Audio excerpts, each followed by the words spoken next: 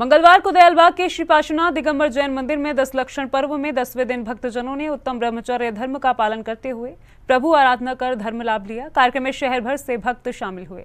मंगलवार को दयालबाग के श्री पार्श्वनाथ दिगंबर जैन मंदिर में दशलक्षण पर्व में दसवें दिन भक्त जनों ने उत्तम ब्रह्मचर्य धर्म का पालन करते हुए प्रभु आराधना कर धर्म लाभ लिया। कार्यक्रम में शहर भर से भक्त शामिल हुए।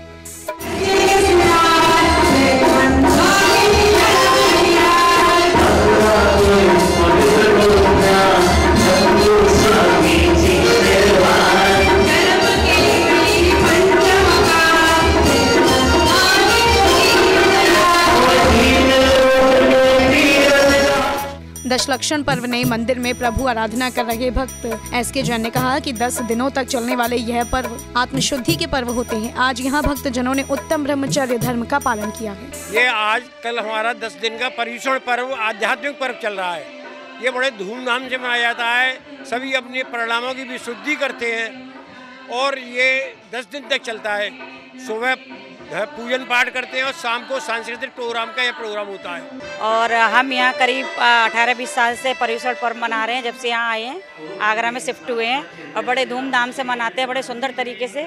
आज अनंत चतुष्ट चतुर्दशी का परम पवित्र दिन है और बड़े धूमधाम से मना रहे हैं, जैसा कि आप देख रहे हैं।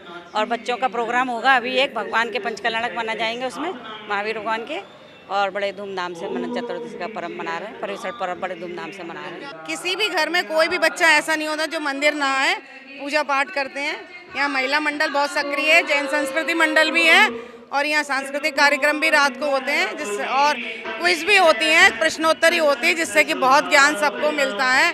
और इस मंदिर का जैसा माहौल है वैसा मेरी समझ से तो मैंने कहीं नहीं देखा है। यहाँ बहुत एकता है, बहुत सब मिलजुल के अपने सारे प्रोग्राम करते हैं, पूजा पाठ करते हैं। सल्लाबाग जैन मंदिर में दसों दिन दस धर्मों की पूजा की गई। प्रातः काल, सामूहिक अभिषेक, शांत धारा, उसके बाद भक्तमय वातावरण में संगीत के साथ प्रतिदिन सामूहिक रूप से पूजा की गई। शाम को एमडीएन के प्रवक्ता सत्येंद्र जैन द्वारा सात प्रवचन तथा प्रतिदिन महिला मंडल के द्वारा सांस्कृतिक कार्यक्रम आयोजित किए गए। 22 सितंबर को हमारे यहाँ पर रविवार को क्षमावाड़ी पर्व मनाया जाएगा। मंदिर में श्री जी की पूजा, अभिषेक, समापन पर सभी भक्तों में प्रसाद वितरित किया गया। सी न्यूज़ के लिए अजय बहादुर की रिपोर्ट।